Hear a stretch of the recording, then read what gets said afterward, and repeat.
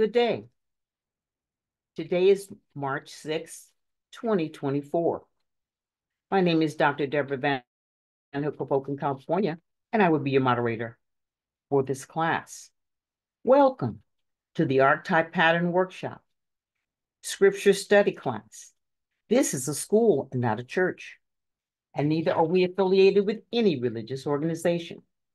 This school is a nonprofit, non denominational, religious, and scientific research organization dedicated to showing proof of the existence of Yahweh, our Elohim, and the operation of his eternal purpose, pattern, and plan operating throughout eternity until this present day. This school was established as the result of a divine vision and, and revelation given to our founder, Dr. Henry Clifford Kinley, in the state of Ohio in the year of 1931. Classes are held in the United States, Canada, and certain other foreign countries. The class in Fairmont, West Virginia was started in November 2020.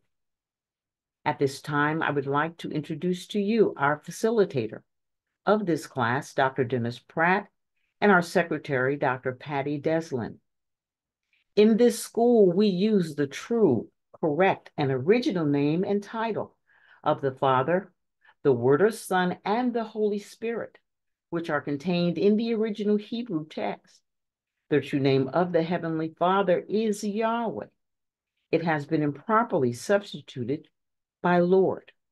The true title of the Word of Son is Elohim it has been improperly substituted by God. The name of the Holy Spirit, manifested in or out of a physical body, is Yahshua. It has been erroneously substituted by Jesus Christ. Lord and God are titles and not names. The Apostle Paul, filled with the Holy Spirit, tells us in 1 Corinthians 8 and 5 that there are Lord's many and God's many. But we now know that each Lord must have a name and each God must have a name also. Elohim is a title, but unlike Lord and God, Elohim is a divine title. That means that Elohim is the title our Creator chose for Himself. Jesus is a name, but it is an erroneous name. A minor investigation on your part in a good dictionary or encyclopedia would prove that neither the Hebrew language, the Greek language, nor the Latin language have any characters in or letters in their alphabet that will produce the sound that is made by this letter J. During the time he walked the earth plane. Neither was there a letter J in the English language until some 1400 years after the Messiah's death. Therefore, such names as Jesus and Jehovah are impossible renderings of the true and original name of our Father and his Son. Christ is a title, just like Lord and God. The Yahweh is pure spirit, and in this state, he is incomprehensible and inscrutable. He is the ultimate source, substance, limits, and bounds of everything. We have Yahweh in his pure spirit state, symbolized on this chart as a cloud. Yahweh is not a cloud. He merely chose a cloud to symbolize himself because a cloud has no particular or descriptive sh shape and form.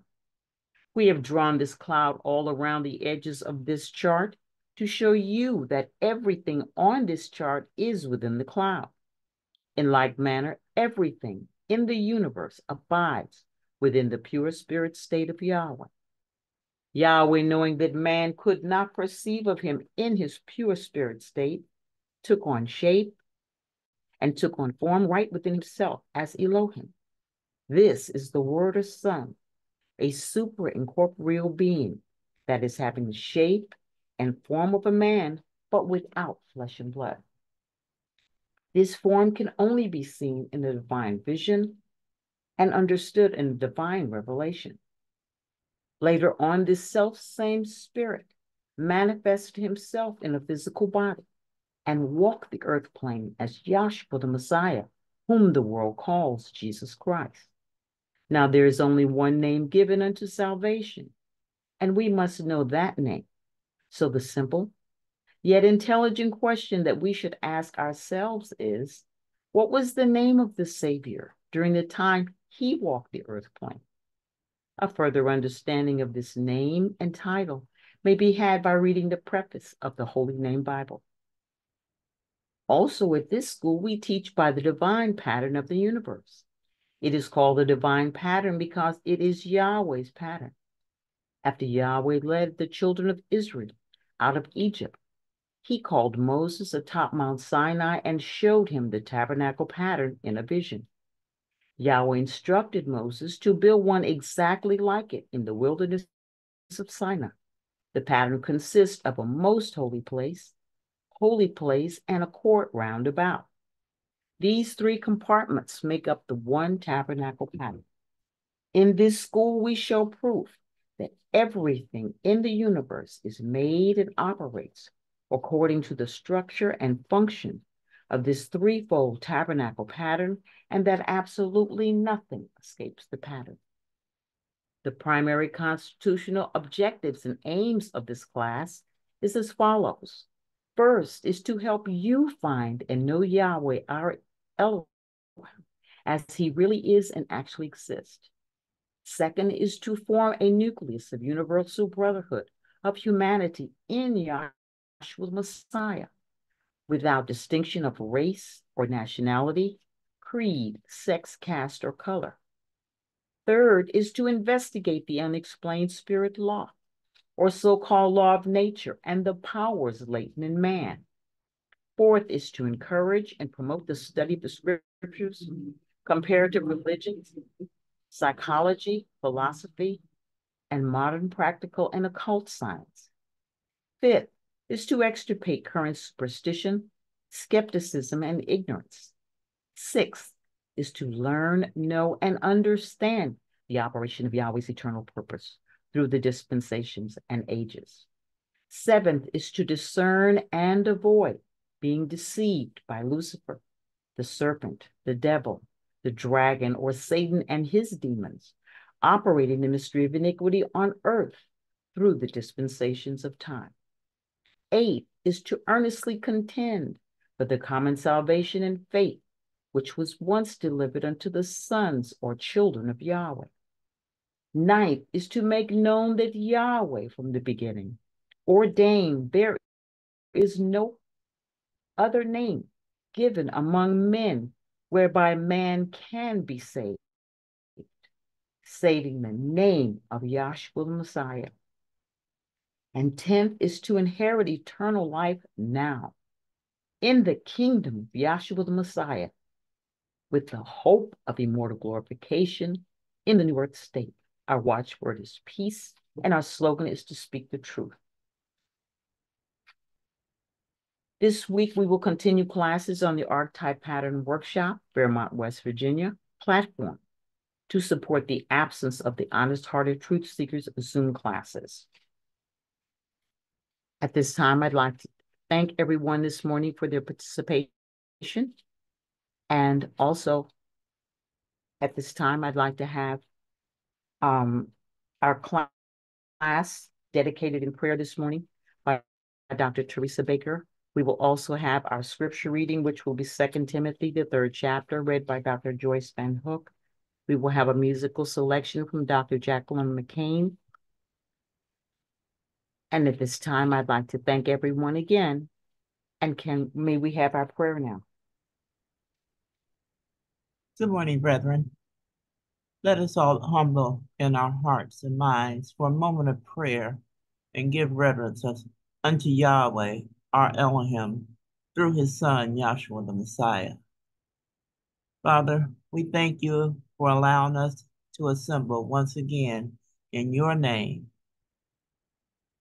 to show us your love, your beauty, your justice, your wisdom, intelligence, and knowledge, foundation, power, and strength, formulating in us during these last few days that we have here left on this earth, Father, before we are joined in one with you.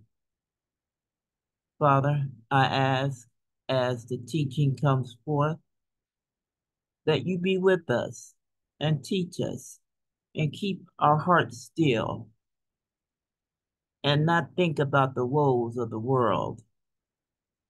We're just here with you, Father. Among two or three witnesses, you said you would be in the midst. So we are in the midst of you. All these blessings we thank you for and are grateful for. In the name of your Son and our Savior, Yahshua the Messiah. May the class say, Hallelujah. Hallelujah. Hallelujah. Hallelujah. Good morning, brethren. Acts 17 and 28 states, For in him we live and move and have our being. I want to sing today about how great Yahweh is. Oh, Yahmael, when I in awesome wonder consider all the world thy hands have made. I see the stars, I hear the rolling thunder, thou power throughout the universe display. Then sings my soul, my Savior, Yahshua. How great thou art, how great thou art. Then sings my soul, my Savior, Yahshua.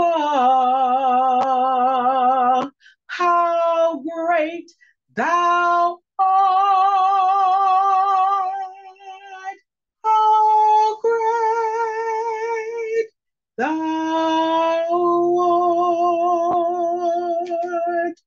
When through the woods and the forest glades I wander and hear the birds sing sweetly in the trees. When I look down from a lofty mountain grandeur and hear the brook and feel the gentle breeze. And when I think that Yah, his son, not sparing, sent him to die, I scarce can take it in. That on the cross, my burdens gladly bearing, he bled and died to take away our sins. Then sings my soul, my Savior, Yahshua. How great thou art, how great thou art. Then sings my soul, my Savior, Yahshua. How great thou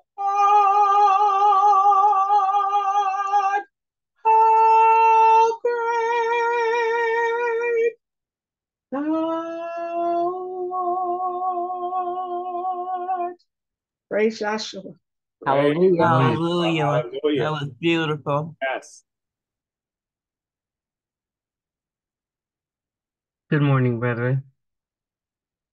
I will be reading Second Timothy, the third chapter, from the Holy Name Bible, containing the Holy Name version of the Old and New Testaments, critically compared with ancient authorities in various manuscripts, revised by the late A.B. Traina of the Scripture Research Association in College Park, Maryland. 2 Timothy, third chapter. This know also, that in the last days perilous times shall come. For men shall be lovers of their own selves, covetous, boasters, proud, blasphemers, disobedient to parents, unthankful, unholy, without natural affection, truce breakers, false accusers, incontinent, fierce, despisers of those that are good, traitors, heady, high minded, lovers of pleasures more than lovers of Yahweh, having a form of the worship of Yahweh, but denying the power thereof. From such turn away. For if this sort are they which creep into houses and lead captive silly women, laden with sins, led away with various lusts, ever learning and never able to come to the knowledge of the truth. Now, as Jannes and Jambres withstood Moses, so do these also resist the truth. Men of corrupt minds reprobate concerning the faith. But they shall proceed no further, for their folly shall be manifest unto all men, as theirs also was.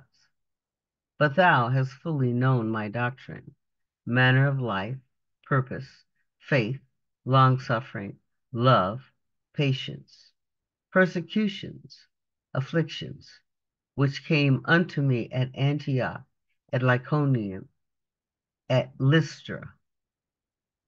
Pardon me, what persecutions I endured. But out of them all Yahweh delivered me. Yea, and all that will live in fear of Yahweh shall suffer persecution. But evil men and seducers shall wax worse and worse, deceiving and being deceived. But continue thou in the things which thou hast learned and have been assured of, knowing of whom thou hast learned them, and that from a child thou hast known the holy scriptures, which are able to make thee wise unto salvation through faith, which is in Yahshua the Messiah. All the scripture that is given by inspiration of Yahweh is profitable for doctrine, for reproof, for correction, for instruction in righteousness, that the man of Yahweh may be perfect, thoroughly furnished unto all good works. I read to you Second Timothy, the third chapter. Hallelujah. Thank you. And good and I'd like to also announce that our scripture readers for the week are Dr. Joyce Van Hook and Dr. Lucy Altman. I'd like to turn this class over now to Dr. Dennis Pratt, our facilitator. Good day, Dr. Pratt. Good day, family. This is the day Yahweh has made, and we will rejoice and be glad in it. I'm thankful through Yahshua Messiah so that he has assembled us today to increase our knowledge and understanding of his purpose, pattern, and plan that is operating to this very day in our very souls, and that he's making us to hear him, he's making us to see him, and he's making us at peace with all things that he has purposed. With that, we have Second Timothy, third chapter that we have just read. I want to thank the the participants, the beautiful song that was sung in, in, in calming our hearts, and the prayer that calls to clear our mind so we can give our full attention to the teacher that's here among us, teaching us his truth and and just preparing us for the translation of his coming through the universal revelation that he has purposed to take place at the end of this age. So, with those words, I yield the floor to any comments. I saw a hand raised earlier by Dr. Jean Burris if she has a comment she cares to make or a question, or anyone that's attending at this time. Uh, this is the time to uh, express uh, things that Yahshua has laid on your heart regarding the scripture or any concerns you have? Uh, just let me say, and thank you, uh, Dr. Pratt. Uh, I had raised my hand because um, Jack Jackie's voice kept going in and out, and I wasn't sure if it was uh, from your end or from my end. But finally, my tab just went out completely, so I know it was from me. And you all excuse the interruption. Thank you very much. No problem. Appreciate your attendance here. Yeah, it was a smooth song. yes, and she does such a beautiful job. And yes, I hate that Indeed I so. didn't hear it all. Praises I, to Yah. yeah, I didn't hear all the scripture either, but I'm back. Thank you. Okay, and it will be uploaded within 24 to 40 hours on broadcast to YouTube and Facebook. So that's also another opportunity to review the report that we're looking at today. But thank you for your comments, Dr. Burris. Anyone else care to share on Second Timothy, third chapter? I know before we started, someone mentioned their understanding of the of this chapter. Would they care to expound? Uh, good morning, brethren. Uh, this particular chapter, uh, every line of it speaks to the situation of what is going on in the world today. Uh, yes. If you're, if you're familiar with the entertainment world, politics, uh, every phase, those uh, principalities and powers, as we should say, mega churches, all of the stuff that we see today uh, in the news. And at one time, uh, we were not aware that this has always been. This situation has never not been. And the reason I say that is because Yahweh declared the end from the beginning.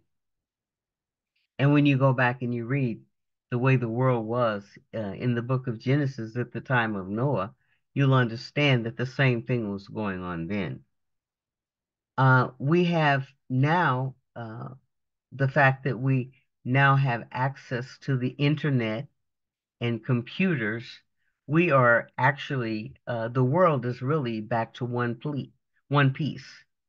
Because at one time, if you will remember back in the time of Noah, it says, at one time the world was of one language in one piece. Well, this is where the world is now. And it has never not been that way. It is just because of communication that we are aware of that. Some of the virtues that we grew up with, like your word being your bond or um, dealing with people, you know, above board, uh, and all of that, all of that has now gone out the window. You're now not uh, required to keep your word, you know, uh, you can just lie about anything you like, and you can tell the world, yes, I lied about it. So, uh, and you have no, there's no allegiance uh, to anything. And all of this we are looking at every day when you turn on the news. Uh, the you truly know, if you know anything at all, you will know that the only good news is the gospel. Everything else is just the absolute pits. And if it doesn't bleed, it doesn't lead. People love catastrophe. They love war. They love rumors of war. They love uh, any any uh, trick uh, that that uh, gets over on someone. And the fact that uh, our identity, you know, uh, it started out with the with with what you had what you you call um, identity theft, where people were just stealing other people's names on paper. And now you have what you called an identity crisis because people don't know who they are, they don't know what they are, they don't know who they want to be. And at one time, you couldn't use pronouns to uh, deal with people, but now in certain places, the law requires that you you deal with pronouns, them and they and those.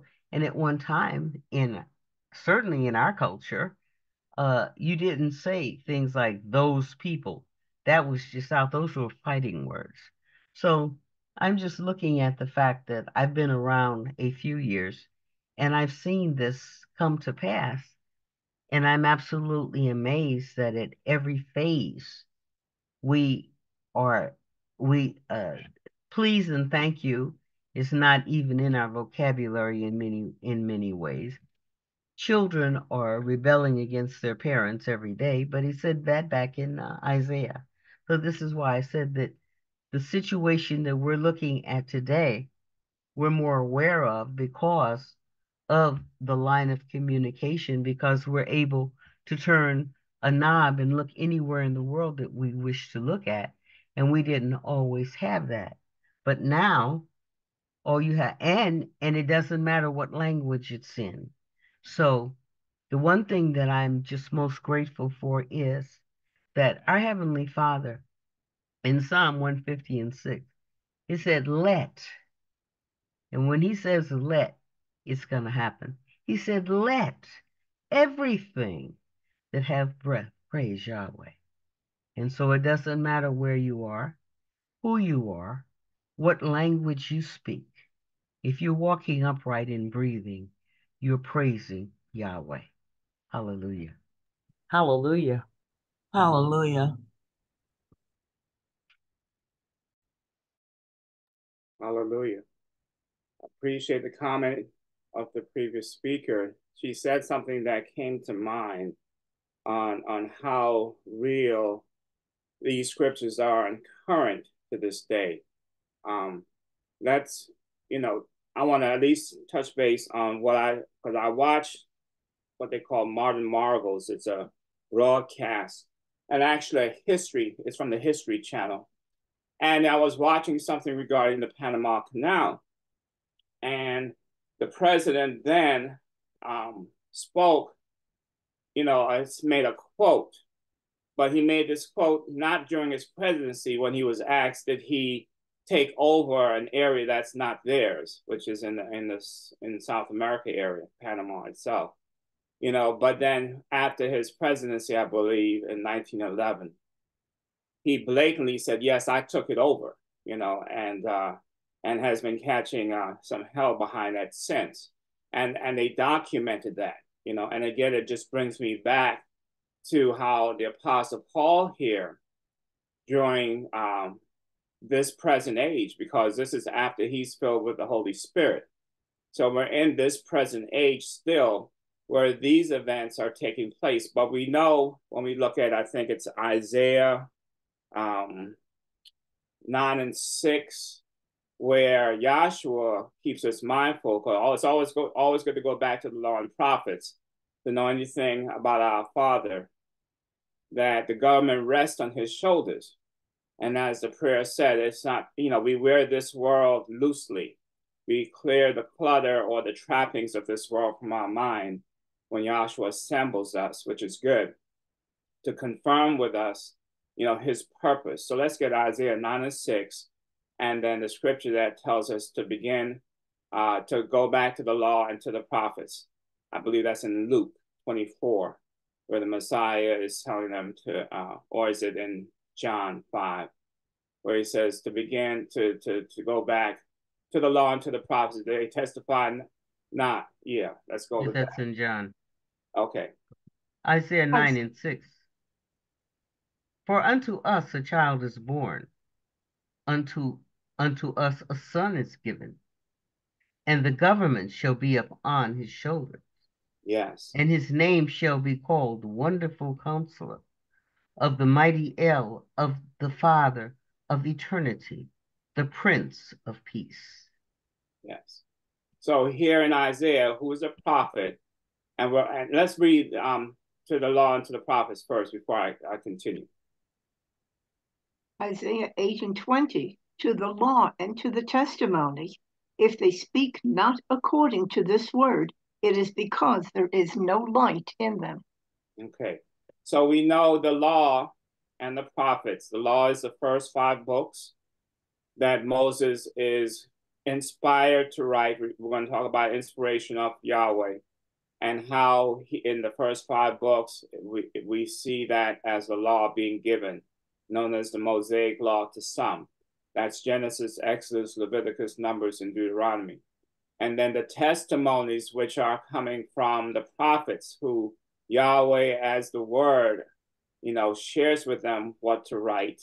And here with Isaiah, who is a prophet, you know, is prophesying of the Messiah's birth. A child is born, unto us a child is born, and unto us a son is given. That son is Yahweh Elohim in that shape and form that's given to us, and the government shall be upon his shoulder.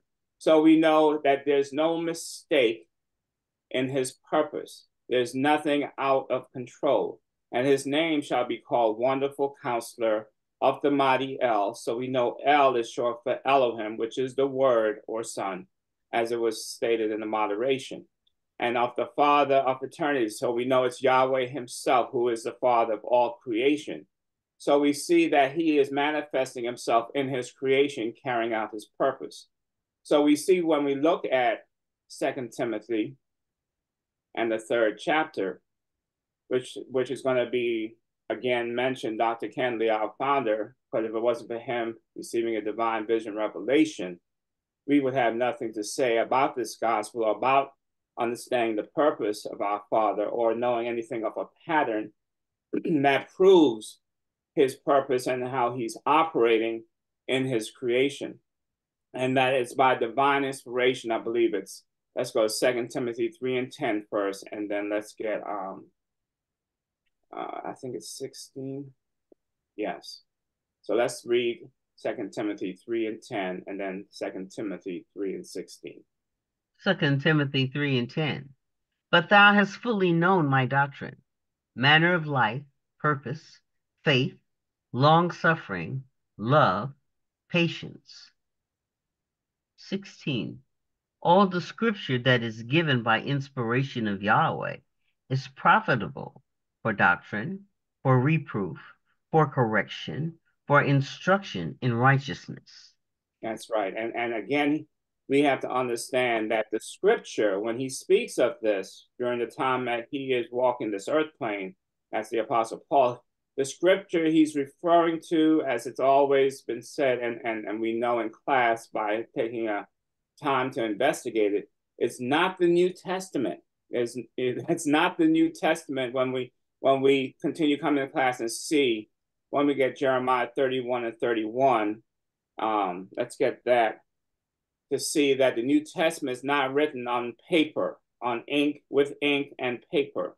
It's written in our hearts in this present age. But we'll see that Paul is referring to the scripture that was written, and we see it in the law and the prophets, which is the Old Testament or the Old Covenant. So it's by the inspiration of Yahweh who introduced himself to Moses in that old covenant as we as we read in Exodus 3 and 15 that is Yahweh the name he gave to Moses to declare to Pharaoh that delivers them out of bondage. It's that same name that delivers us out of bondage today. And that his doctrine, which is his gospel, of the good news of how he's the one that fulfills all scripture. And he's the one that makes a way through Pentecost to abide in us and save us. So let's read that in Jeremiah 31 31. Did you still want Luke? Um, was that? I think 24 27? I think we read it in John already, Dr. Altman. I think we No, did. we didn't. We didn't? All right, no. then I thought we did. Luke 24, 27, and beginning at Moses and all the prophets, he expounded unto them in all the scriptures the things concerning himself. That's fine. We did read it in John, though, where we said to be, um, it was something we read in John. You, I don't know if you recall, but we Isaiah. About, was it Isaiah? Okay, yeah. Isaiah then. Yeah. Okay, so yep. that's so we know to always begin with Moses, which is the point it, it's important to always remember anything that we want to know or Yahshua is giving us something to meditate on regarding himself. To always begin with Moses, and that means to go back into the Old Testament. You know, we have now the, the technology to to do a, a Google search and search the topic and look for it in the Old Testament, in the law and in the prophets, you know, to begin with, and better understanding the purpose of Yahweh.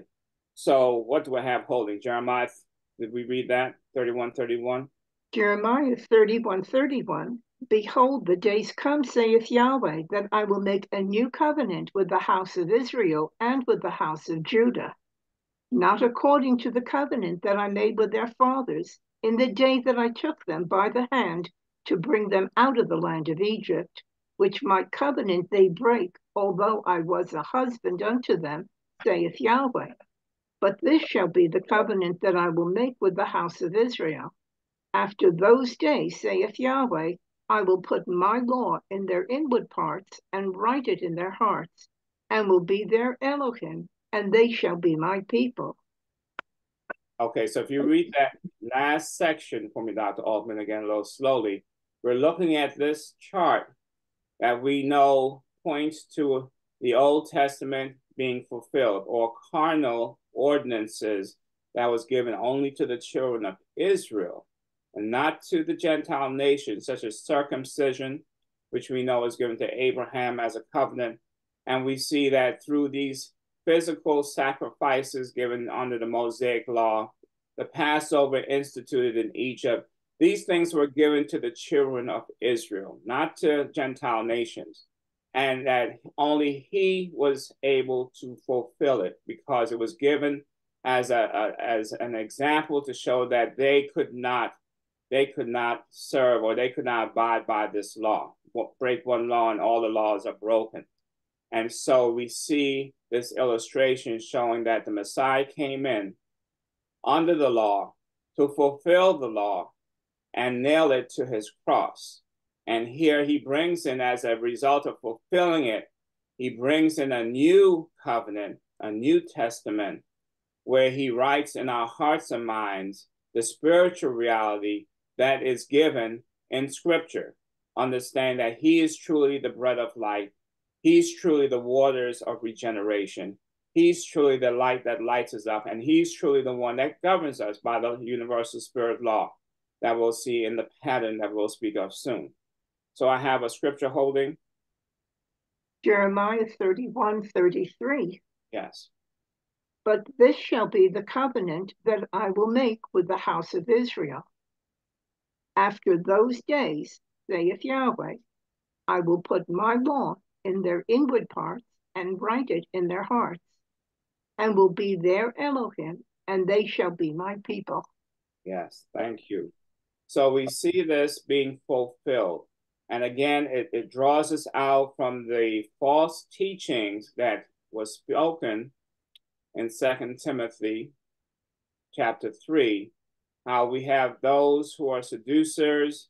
And again, these are these are people that is possessed, and and a lot of times I didn't know I, that I didn't know that Lord and God was titles. So we all came in, you know, with with an ignorance of not knowing who our Savior and who the Creator is, but with some kind of concept or man's tradition, thinking I can serve him by water baptism, joining a church, paying tithes, listening to, to, to ministries on TV without end, things of that nature, which does not serve him in spirit and in truth. And it is he, Yahshua himself, that calls us by name. And, and as he did with Moses, you know, the, the blessing is he causes us to turn aside from those things and, and focus on him. Also, I wanted to focus also on Second Timothy 3 and 16, where all scripture is given by inspiration and inspiration of Yahweh. So it's understanding that it's a doctrine, if that's profitable, it's a way of life that's spoken of early in scripture. Let's get um let's go to the law to see how he speaks to us and he's spoken to the prophets in Second Samuel. Let's get uh, 23 and 2. That's in the prophets. And um, in the law, let's get uh, Deuteronomy 4 and 36.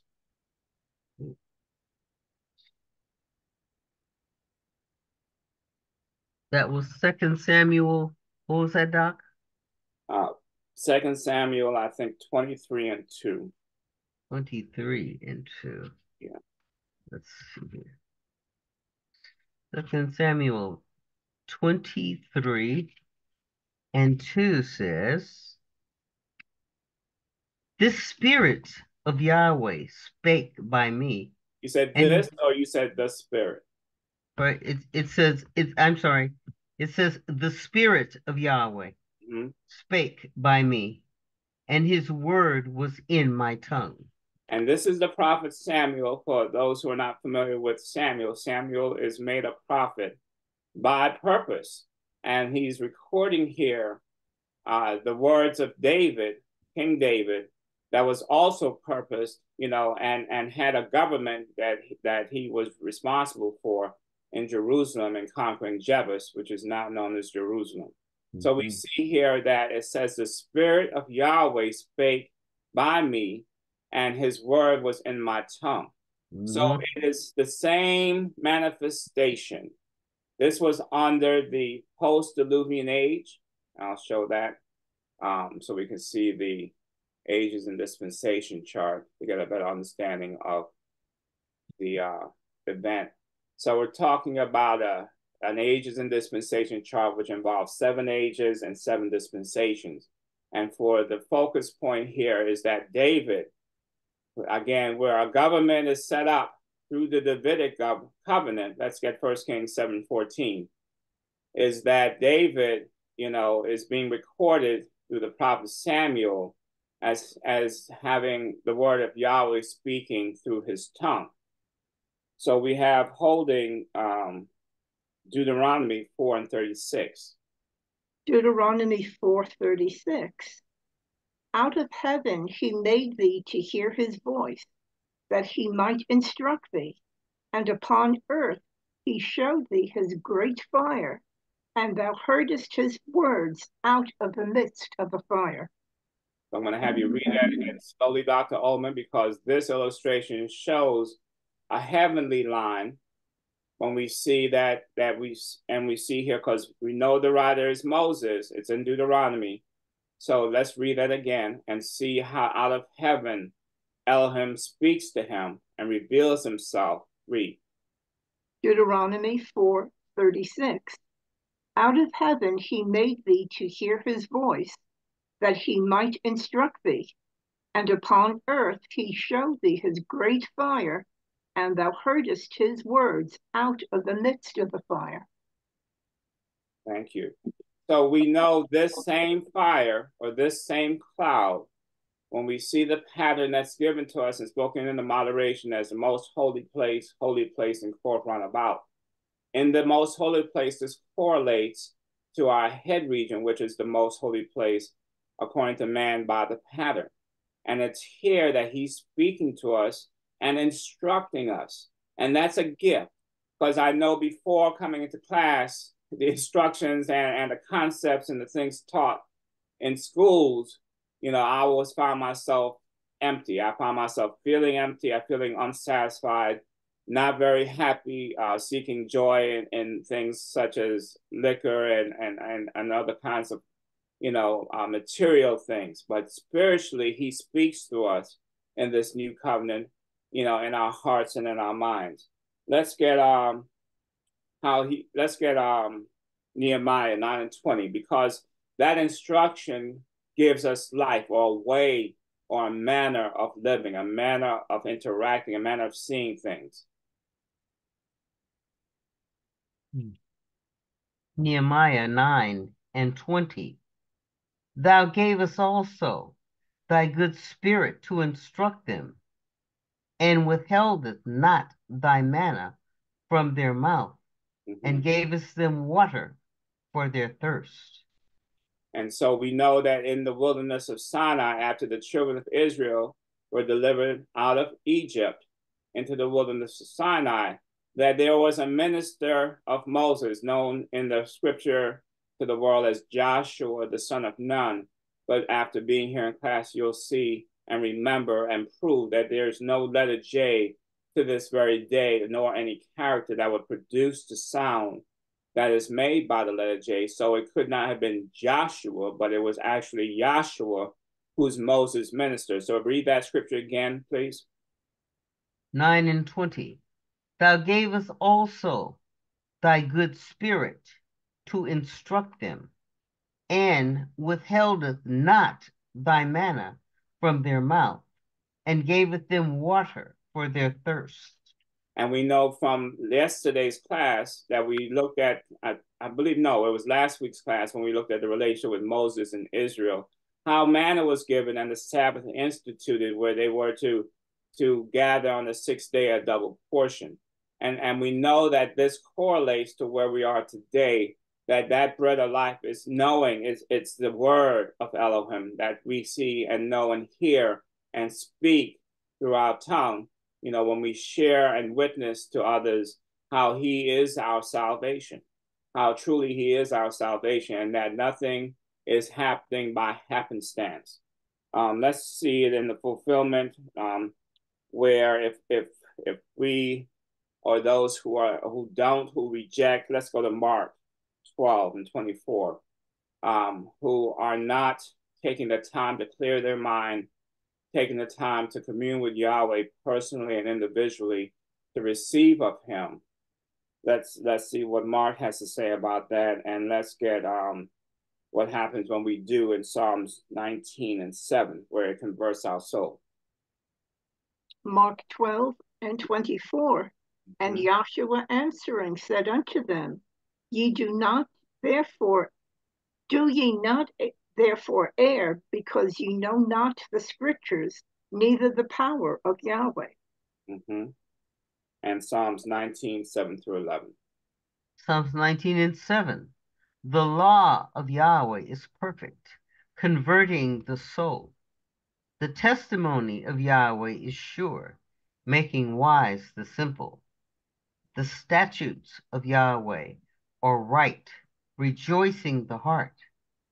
The commandment of Yahweh is pure, enlightening the eyes. The fear of Yahweh is clean, enduring forever. The judgments of Yahweh are true and righteous altogether. More to be desired are they than gold, yea, than much fine than much fine gold, sweeter also than honey and a honey and the honeycomb. Moreover, by them is thy servant warned, and in keeping of them there is great reward. Praise Yahshua. And we see that the instructions manifest from our Father's nine divine principal attributes, which is intelligence, wisdom, knowledge, beauty, love, justice, foundation, power, and strength, that He is he manifested into a physical body in shape and form with our flesh and blood, which is manifesting in us in our hearts and mind today through the Holy Spirit. Through Pentecost, through his death, burial, and resurrection, he resurrects us and those who has believed in him uh, from Adam all the way to uh, through John, um, you'll see a resurrection of souls that's in the faith that resurrect unto a greater life than what they had before in the knowledge and understanding of our Savior, who is a quickening spirit. And this Pentecost is still going on now. It happened and opened up the present kingdom age. Let me find the chart here. Here is you see the cross on the line between the third age and the fourth age. And you have here the death, burial, and resurrection of Yahshua the Messiah that put an end, as we see this word end on there, puts an end to these carnal ordinances that was given in the previous ages and ushers in Pentecost, the Holy Spirit, through faith. Let's get Ephesians 2 and 18. And we know that he is assembling us as a body unto himself. And let's get Colossians 1 and 24. Ephesians 2 and 18. For thou, for through him we both have access by one Spirit unto the Father. Mhm. And that was Colossians 1 and 24. Okay, one moment, please. Colossians 1 and 24. Oh dear. Somehow, okay. Colossians 1 and 24 says, Who now rejoice in my suffering for you, and fill up that which is behind of the afflictions of the Messiah in my flesh, for his body's sake, which is the assembly. Yes. Wherefore I am made a minister according to the stewardship which is given to me for you to fulfill the word of Yahweh. That's right. So again, we understand his purpose is to fulfill and reconcile us unto himself as his body that he presents to us faultless before the presence of our Father's glory. I wanted to also just bring up um, Matthew to show again how Yahweh is doing all things. Matthew 21 and 42. And then I'll yield the floor. Okay. Matthew. Let's see, Matthew 21 and 44. Let's go back here. 21 and 44 says, uh, and whosoever shall call, Mhm. I'm sorry, and who shall e- whosoever shall fall on this stone shall be broken, but on whomsoever it shall fall, it will grind him to powder. yeah, I think that's the wrong one. Um when this is that Yahweh is doing all things. Let me see. Someone knows it.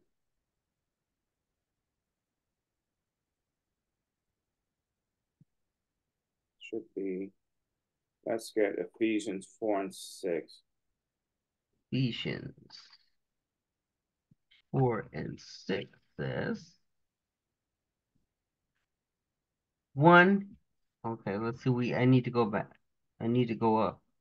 There is one body and one spirit, even as ye are called in one hope of your calling, one Elohim, one faith, one baptism, one is Yahweh and Father of all, who is above all and through all and in you all. That's right. And we'll finish up with Romans 8 and 29. 8 and 29 Romans. Which is Because he's the one that's working all things out. He's the one that's carrying it out. Romans 8 and 29 says, Oh, 8 and Oh. 28. I'm sorry, 8 and 28. 8 and 28. For we know that all things work together for good to them that love Yahweh, to them who are the called according to his purpose, for whom he did foreknow, he also did predestinate to be conformed to the image of his son, that he might be the firstborn among many brethren. Praise Yahshua. Thank you. So with that, I hope something was said to edify the body on on better being better um, acquainted with Second Timothy, the third chapter. We're also going to go into it further in our um, second half of the class. I yield the floor to anyone else that cares to comment or ask any questions. I have a comment. Mhm. Second Timothy, the third chapter. Okay. I want to get the apostasy. I took the time and uh, looked up apostasy because the third chapter starts out that this know also that in the last days perilous times shall come. And as you heard the previous speaker say, we do understand that we're in the last days when we go over in Habakkuk. Uh, Habakkuk tells us to write the vision and make it plain upon tables, that in the end the vision will speak. And we do understand that uh, we are here by divine vision and divine revelation that was given to our founder, Dr. Henry Clifford Kinley, in the state of Ohio in the year of 1931. And through this divine vision and revelation that was given to Dr. Kinley, we are now in the state that we're in, being placed in the kingdom of Yahshua by the preaching of the gospel. So, see, we understand now it's no longer a physical thing, but it's a spiritual thing. And in John 4 and 24, we understand that we have to worship him now in spirit and truth. Because prior to us coming into this class, we did not have any truth. We had uh, uh, our concepts, our thoughts, and our opinions of who God was or how he existed, but we knew nothing about him. But through this divine vision and this divine revelation, we have now been translated into a kingdom that is not of this earth. And I can't, it's a scripture in the Bible that says that he said, My kingdom is not of this world. And we know by being in this class that this, what we are learning is not of this world. It is not of man. It is not of man's wisdom. This is direct from the Creator Himself. So he said that in this this know also. See he said some other things before because what he's talking about is the apostasy that's taking place. Now when we're going to and, and i didn't get a chance to go back and pick up all the apostasies back in the law and the prophecy because they had uh, uh during the judges they they they uh they just rebelled against yahweh. So um, the definition of apostasy is a rebellion against uh I'm sorry. This is from the uh, uh, Wikipedia dictionary.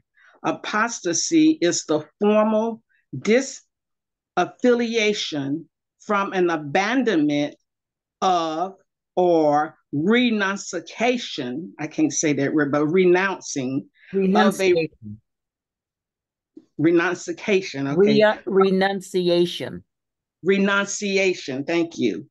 Of a religion by a person it can also be defined within the border content of embracing an opinion that is contrary to one's previous religious belief. Now, we understand now, uh, since we've been in this school, how there has been a division that took place. But Yahweh told us that in this book, in this scripture right there, that in the last days, perilous times going to come. You're going to have some that's going to depart from the faith. See, we know that. Uh, let's get. Uh, uh, oh, Father.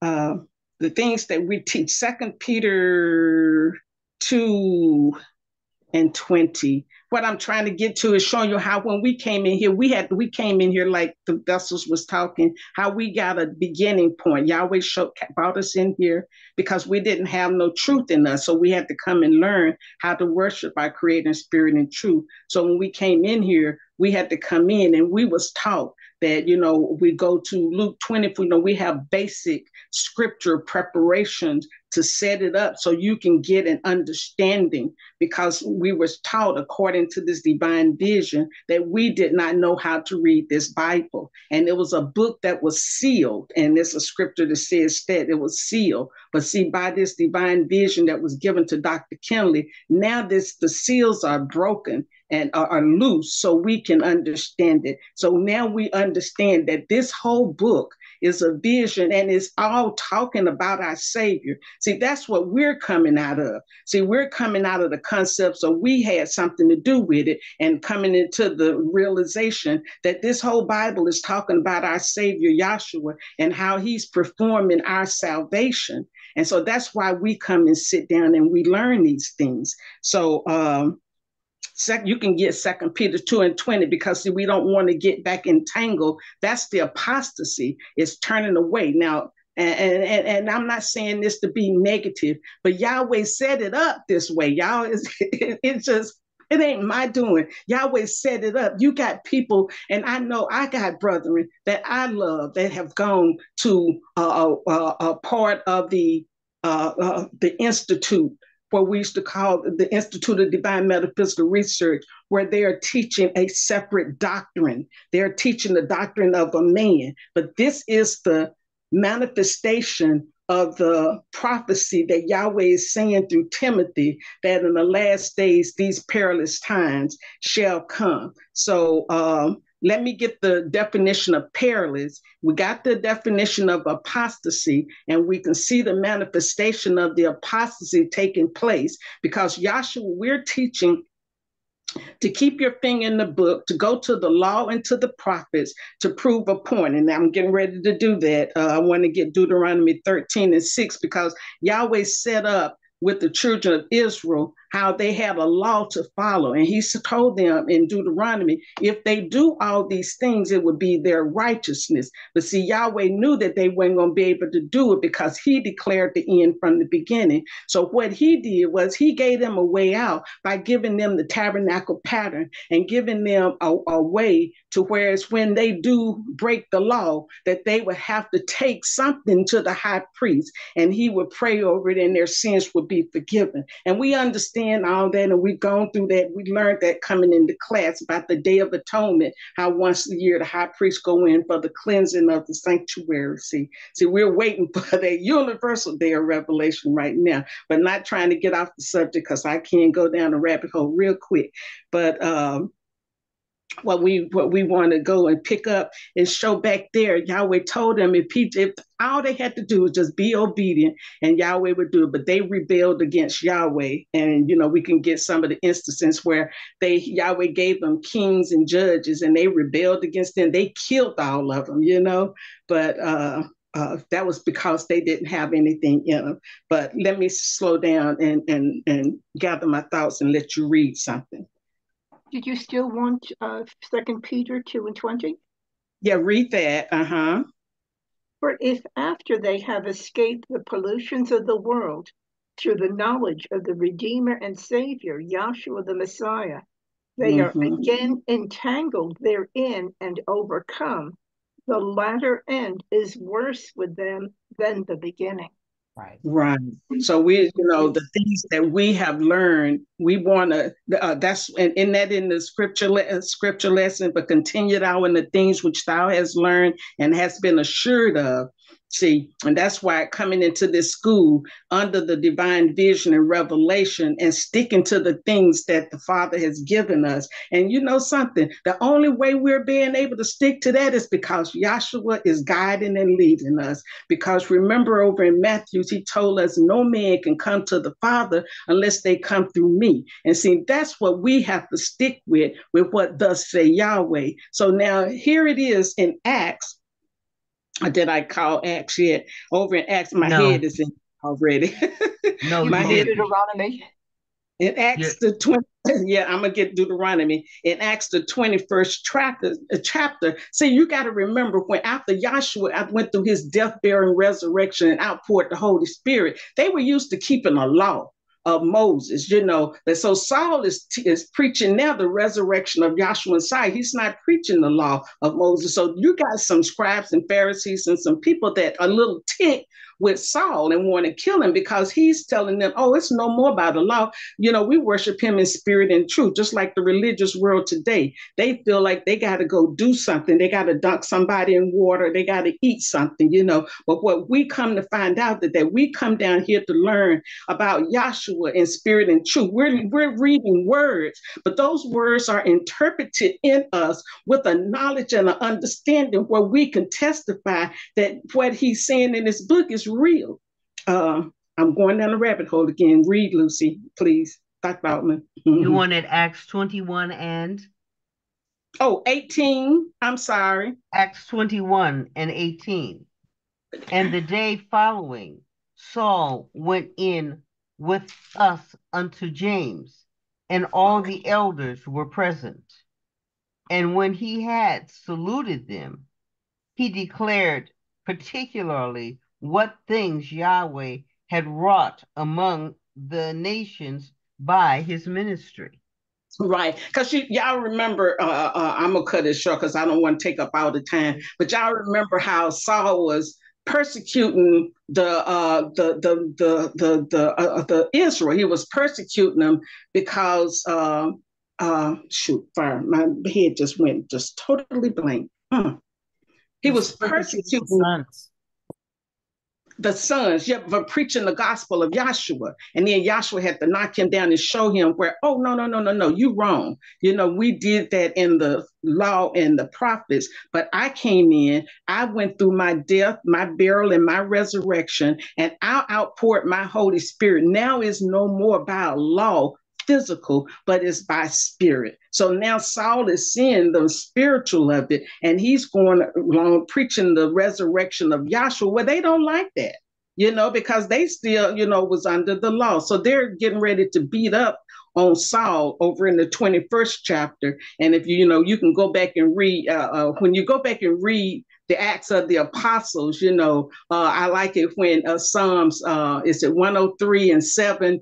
He made known his ways unto Moses and his acts unto the children of Israel. So here it is Yahweh has made his ways known unto Dr. Kinley, and he's showing us the acts of the apostles, just like he showed us the acts of the children of Israel. And he told us in First Corinthians, the 10th chapter, let that be, you know, these things, let them be an example unto you that you don't lust after these things. Because see, we can read over in Galatians and see what Satan's MO is, see, and we can understand end, we don't want to go to that end. We want to stay focused on Yahshua because, see, uh, in the apostasy, you got the envyings and the strifes and the murders and the heresies. If y'all see my uh, my little uh, uh, what you call icon that I have, I got the uh, the brain chart. How Yahshua is walking down through us, chipping away all of that. So see, he's chipping it and taking that away. So we don't want to go back or get back entangled with thinking that we got something to do with it. What we got to do is put our trust, like Israel should have did, put their trust in Yahshua, and that's hard for a human being to do because we never had to. We always depended on ourselves, you know. And so Yahweh had to teach us how to depend on Him, and that's why we come down to this class to learn how to depend on Yahshua. Okay, so now let's get um you so I'm just reading Acts because you understand what the story is all about. I just gave a synopsis of what the story is all about. Uh and I want to get over in Deuteronomy because I did mention how it had to start from the beginning. And then we're going to get Second Chronicles 15 because see, the apostasy just always have been. You know, Yahweh did it in every age and every dispensation, you know, and and if I get a chance the opportunity, maybe I can do a little bit more digging and get some better witnesses, you know. But the apostasy has always been. So we're gonna get are you over in Deuteronomy now? Deuteronomy 13 and 6. Hmm. Have mercy. Is that, is that what you wanted, ma'am? Yes, ma'am. Okay. Deuteronomy. You also requested a definition for perilous. Yes, let's get that. Cause see, I'm just talking, and my head is already knowing this, and I and I do apologize because see, you know, that's why I, we have a tendency. We already know something, so we think everybody else is where we are, and I do humbly apologize. Thank you so much for bring, reeling me in. Thank you. I definition. I don't oh, have I that definition. I think okay. I, I don't know who has that definition for perilous. Okay. That'll give me a chance to breathe. She just re- requested it. Okay. And and I also want to get Exodus 23 20 and uh we're going to get Deuteronomy 13, 6 through 11, and Second Chronicles 15 and 13. Uh, but right now we're going to get the definition of perilous because I'm talking about our scripture lesson, Second Timothy, the third chapter, and then we'll go on down so I can uh, uh finish up on what I'm saying. Perilous, peril.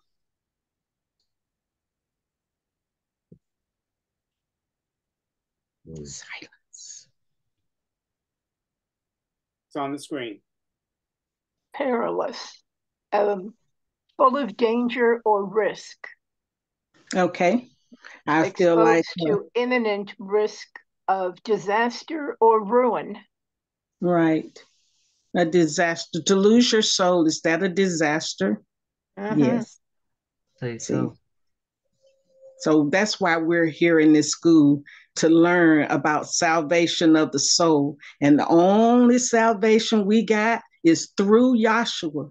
See, ain't through nobody else, not through me, not through the I, words I'm speaking. I'm telling you, the mm. things that I'm saying is because this is what I've learned since I've been in this school and how he's shown me how going in this book is testifying of him. And it's just a beautiful love story that he just, you know, and, and with who he is so long suffering. But I don't want to get off into a tangent. Let's go. Uh, so we understand that perilous means danger. It's like warning, warning, you know, hey, come to class, learn all you can. He said, you know, they, we've been saying that since 1980. I've been in school since 1980. I got my license in 86, so it was 83 or whenever, you know, I had cancer in 86 too. So a whole bunch of stuff went on in 86. But it was like a warning, you know, come to class, learn all you can because you're going to need it. Because y'all know from then up until now, we definitely need to keep our finger in the book because you hear so many things where people are going off and giving you their concept of what their their understanding of what the Bible is saying. And I don't want to do that. I want to read what thus say Yahweh, and we are uh, uh, we can see what He has to say about it. Okay, so now where am I at now? Uh, is it Deuteronomy 13, 6 to 11? I don't need words on my screen. I need to see the uh, the vision. If you don't mind, please. I greatly appreciate it. And then I'll be, I promise you, I'm almost done. I promise you, I'm almost done. Thank you so much. Okay. Uh, I just is, one. Mm-hmm. I'm sorry. Deuteronomy 13, 6. If thy okay. brother, the son of thy mother, or thy son, or thy daughter, or the wife of thy bosom, or thy friend, which is as thine own soul, entice thee secretly, saying, let mm-hmm. us go and serve other Elohim, which thou hast not known, thou nor thy fathers, namely of the idols of the people which are around you, nigh unto thee, or far off from thee, from the one end of the earth even unto the other end of the earth. Mm-hmm. Thou shalt not consent unto him, nor hearken unto him, neither shall thine eye pity him neither shalt thou spare, neither shalt thou conceal him, but thou mm-hmm. shalt surely kill him. Thine hand shall be first upon him to put him to death, and afterwards the hand of all the people. And thou shalt stone him with stones that he die, because he sought to mislead thee away from Yahweh thy Elohim, which brought thee out of the land of Egypt, from the house of bondage and all Israel shall hear and fear, and shall do no more any such wickedness as this is among you. Now, ain't that something? Back then, you got killed for not doing what thus say Yahweh, uh, going through the apostasy. And you know, all the things, but you know, and then let me say this, show them. So, even though we see these people that have turned their back on on the vision of what Yahweh has presented to us through Dr. Kinley, even though they have turned their back, they are spiritually dead. So just like back here, how they had to kill him, Yahweh has done that so spiritually so because he said that because they didn't love the truth, that he would turn them over to a reprobate mind, which is an unprincipled person. And what we do, we teach by precepts and principles and a tabernacle pattern that we're going by. So they're doing the total opposite. They're saying it's a man. So you see the difference in, in, in man's wisdom and sticking to what thus say Yahweh according to the divine vision that we were given. Now that's Deuteronomy. Now let's go over in Chronicles uh 15 and 13. I'm First trying to Chronicles. Get second Chronicles. Pardon me? This what you second. call Second Chronicles 15, 13? Yes, ma'am. Okay. First Second Chronicles 15, 13. That whosoever would not seek Yahweh, the Elohim of Israel, should be put to death. Whether small or great, whether man or woman. Mm-hmm. And they swear unto Yahweh with a loud voice, and with shouting, and with trumpets, and with cornets. Mm-hmm. And, all, and all Judah rejoiced at the oath, for they had sworn with all their heart and sought him with their whole desire, and he was he was found of them, and Yahweh gave them rest round about as long as they're obedient. so that's what we want to do, continue to be obedient. But I wanted to pick up some apostasy. Those are not the witnesses that I really wanted to get the apostasy. But you understand that if they didn't do what thus say Yahweh, they were in an apostasy because apostasy is going against or rebelling against what thus say Yahweh. Uh, conclusion, um, let's get um, we did, did we do we did we finish reading second Peter 2, 20 through 22? Did we read all of that? I'm not sure, but you so. did call Exodus 23 and 20. 20, yes. Oh, yes, yes, definitely. Because it letting you know that you read it. 20 Exodus, Exodus 20, 20 through 23. Exodus, Exodus 23 and 20. Yes. Behold, I send an angel before thee to mm-hmm. keep thee in the way and to bring thee into the place where I have prepared. Mm-hmm. Beware of him and obey his voice.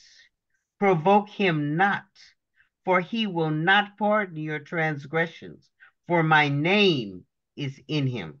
Mm-hmm. But if thou shalt indeed obey his voice indeed. and do all that I speak, mm-hmm. then I will be an enemy unto thine enemies and an adversary unto thine adversaries. So that is still a true today that Yahweh has sent an angel before us to keep us in the way.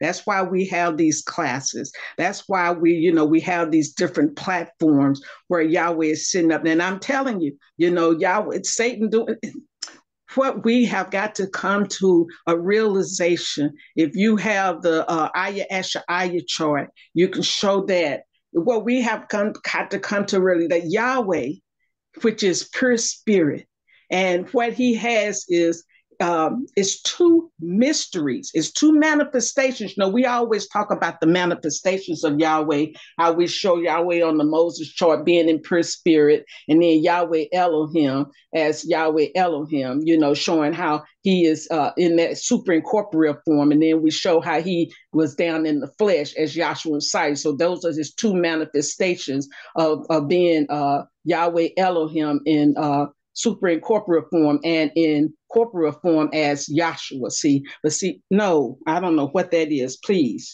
remove that from the screen if you don't mind.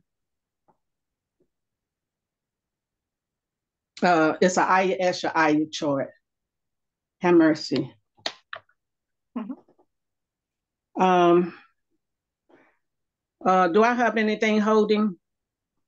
And I want to get over in Galatians because I wanted to share with you. I just wanted to show you how that bad boy is. So, see, the perilous times, see, men are lovers of their own self, whatever it says. But then it also says, uh, be assured of of what you have learned. So I'm just trying to go over some of the things that we've learned to keep us uh, focused on uh, of the difference between that mystery of iniquity and that mystery of righteousness, you know, but they both have their MO. Yahshua is love, peace, and joy, and Satan, he's got that envy and murder and strife, and we'll try to pick up that. Excuse I don't understand. Me, excuse me, the Ayah Ayah chart does not have these two on it? No, no, no, no, sir. Whatever that is, have, I don't. What does it have on it?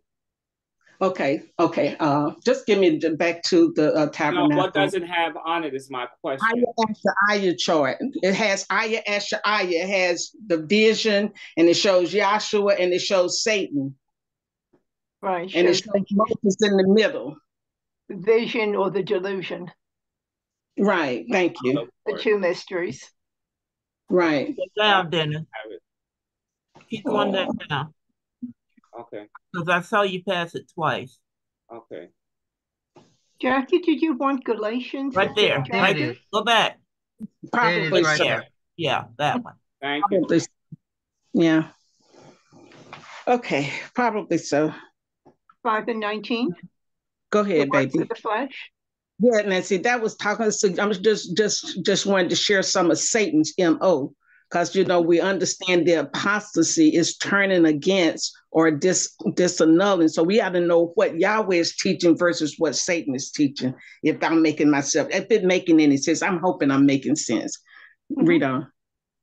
Go ahead. Galatians 5 and 19. Mm-hmm. Now the works of the flesh are manifest, which are these mm-hmm. adultery fornication, uncleanness, lasciviousness, idolatry, witchcraft, hatred, variance, emulations, wrath, strife, seditions, heresy, envyings, murders, drunkenness, revelings, and such like, of the which I tell you before, as I have also told you in time past, that they which do such things shall not inherit the kingdom of Yahweh.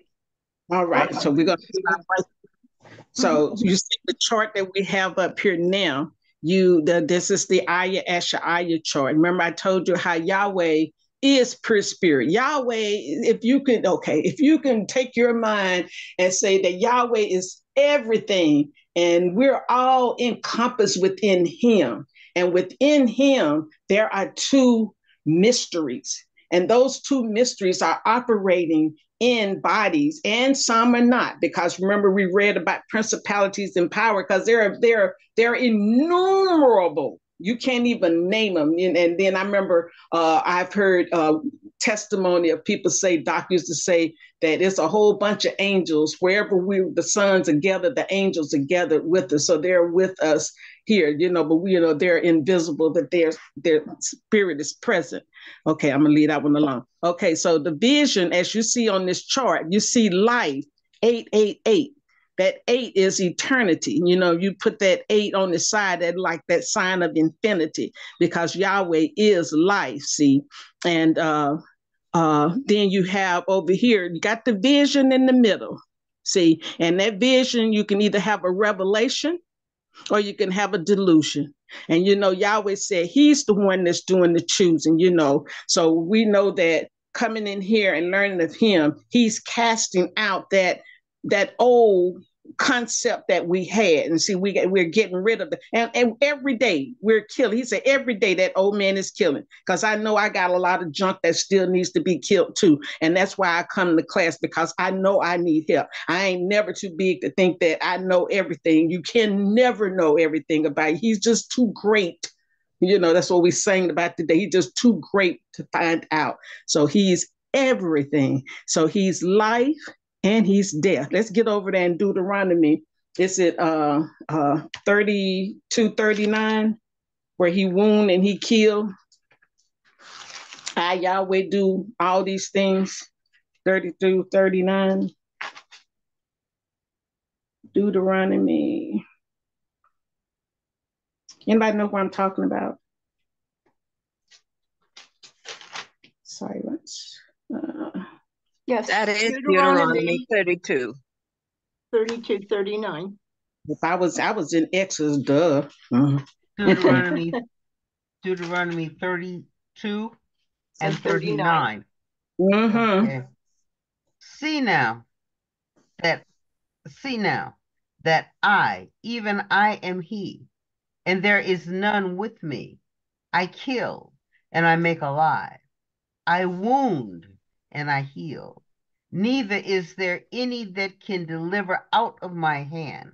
You hear that? Now that's the kind of creator we serve.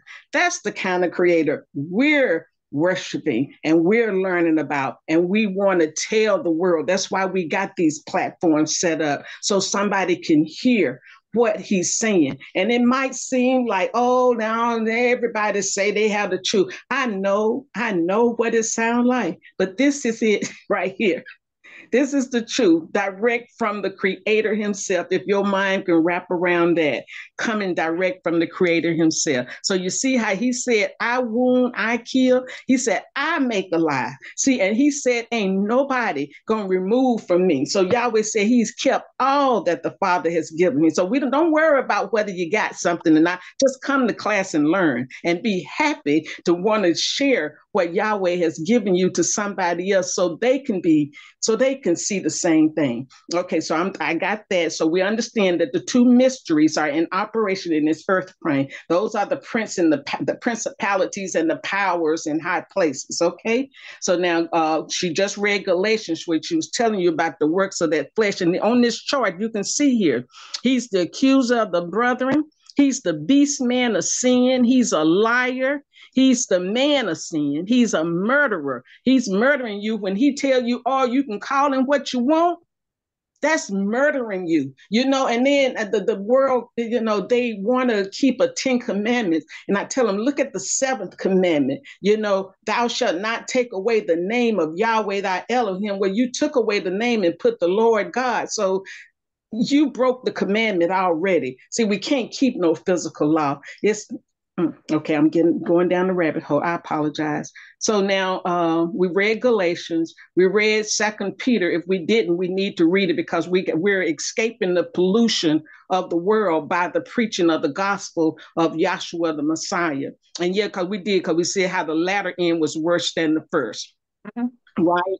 Okay, so uh, I think I'm through. Uh, First Timothy, I got First Timothy four, but I don't know why I have it there because uh, the third chapter is where we was reading in. But uh, uh, Yahweh has turned my uh, mouth off, and uh, nothing is piping. You, I think you probably wanted uh, First Timothy four and one. Is this it? Uh, for First Timothy four and one. Now the Spirit speaketh expressly that mm-hmm. in the latter times some shall depart from the faith, giving mm-hmm. heed to seducing spirits and doctrines of demons, mm-hmm. speaking lies and hypocrisy, having mm-hmm. their conscience seared with a hot iron, mm-hmm. forbidding to marry, and commanding to abstain from foods which Yahweh hath created to be received with thanksgiving of them mm-hmm. which believe and know the truth. I believe that's what you wanted, Doc. Okay. All righty. For that every was in line that was in line with Second Peter.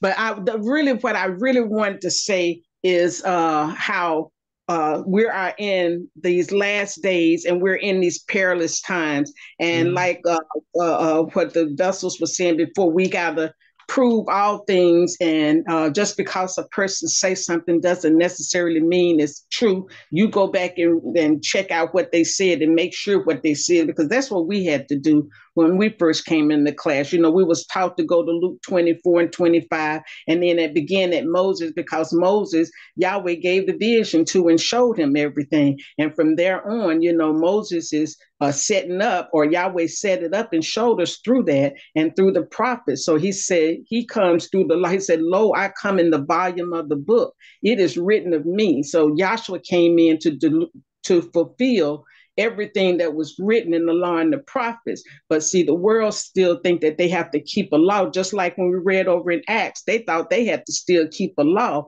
But Yahweh, the keep coming to class, and He'll slowly keep chipping that away. I don't can I don't know if you have the brain chart, Dennis. You'll see how He's slowly chipping away all that carnality from us and then he's clothing us in his son because that's what we want to be. We want to be clothed in the son and the only way we can be clothed in the son is to come down here and learn what does say yahweh and see how he said it according to the scriptures i hope somebody receives something from i said that's just what yahweh gave me to say this morning all praises, all glory to Yahshua. Everything I said is because me coming to this school and learning about my creator as he really is and actually exists. And his name is Yahweh. He manifested as Elohim and in the flesh as Yahshua the Messiah. And in John 14 and 26, he said, The Comforter, which is the Holy Spirit, is going to come in my name. Now that's Yahshua talking, whom you call Jesus Christ. Ain't no such animal as Jesus Christ. You got to get over that real quick. And then one way to get over it, when the letter J was on the planet, there was uh, when when Yahshua, sorry, when Yahshua came through the loins of the Virgin, and the angel named him before he came through the loins of the Virgin, there was no J on the planet. You cannot substitute what was, and that blood That's the blood that he shed for the remission of sin. That blood came in a name, and that only name is Yahshua. Jesus didn't shed no blood. I'm sorry. I don't care how sweet it sounds and how good it might be, but it ain't nothing. It's death. And Yahshua told us in John 5 and 43 let another come in his own name, him ye will receive. How can you receive honor, which receive honor one of another, and seek not the honor that cometh from who? Yahweh Elohim only. See, we said, yeah, yeah. This this gospel is beautiful. Keep coming to class. Keep asking Yahweh to keep showing you because He will. All you got to do is ask Him. He said, "You receive not because you ask not." Just keep asking and keep uh, keep coming and keep loving the brethren. Praise Yahshua. Hallelujah. Praise Hallelujah. Hallelujah. Hallelujah. Hallelujah. Have a hand Hallelujah. up, Dr. Jean Burris. Uh, yes.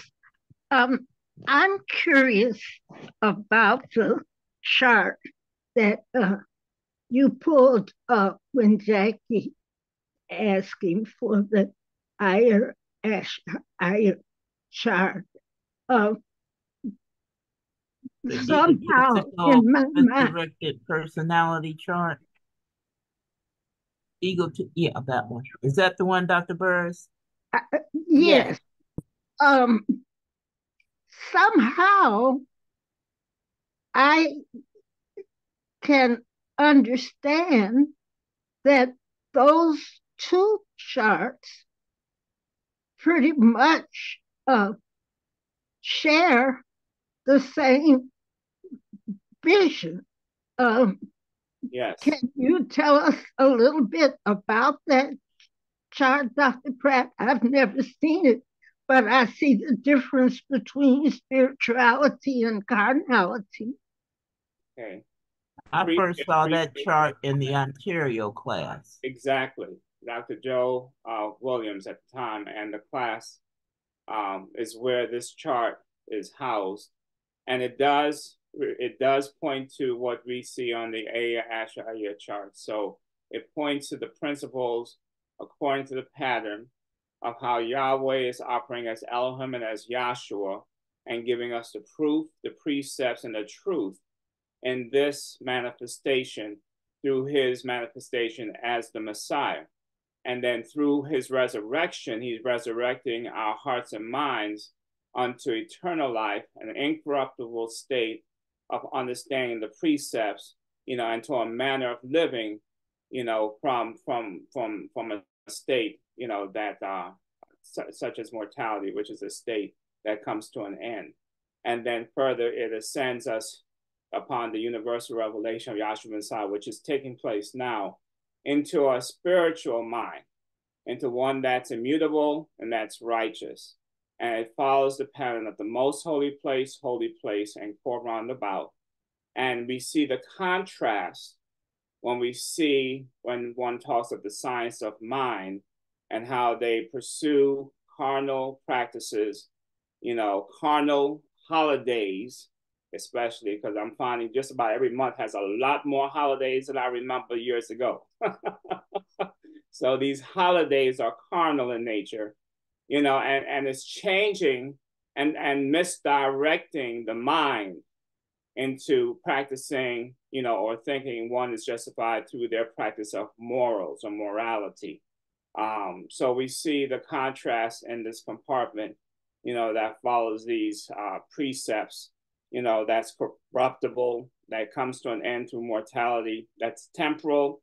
We see the theories through academia, as I mentioned before, the concepts, you know, and the opinions, many, many opinions, but no proof, you know. So we see that here, and it and it leads, you know, it just um, it leads us to just rely on the carnal sight through, you know, sound, taste, and smell, instead of understanding the spiritual discernment through the aims that we have learned since being in class, where He manifests Himself, you know, into our ears, into our tongue, you know, and understand that all of that follows this operation of this pattern. One's unto eternal glorification, one is unto eternal damnation. I hope that helps. Well, I thank you for that because uh, it pretty much verifies what I saw, although it was brief, mm-hmm. and it sometimes takes a moment for me to pull things together. But uh, I appreciate you. I appreciate your time. Thank Great, you. Yahshua. Dr. Baker's hand is up. I just wanted to add one more thing from Dr. Burris.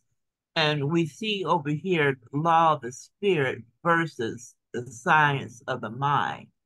So if you go spirituality, when you're in the spirit, law of the spirit is spirituality. And once we have our changed mind, we come from a carnal mind to a spiritual mind.